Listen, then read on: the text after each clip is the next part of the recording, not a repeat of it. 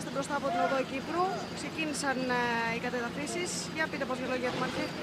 Κοιτάξτε, είναι αυθαίρετα κτίσματα τα οποία ε, δεν είχαν κάνει καμία διαδικασία νομιμοποίησης.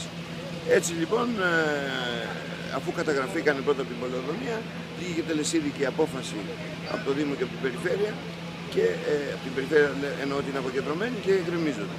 Αυτή είναι Πόσα η διαδικασία. σπίτια είναι; Είναι 11 ε, σήμερα, αλλά ακολουθεί κι άλλη μια εξόρμηση με τα υπόλοιπα.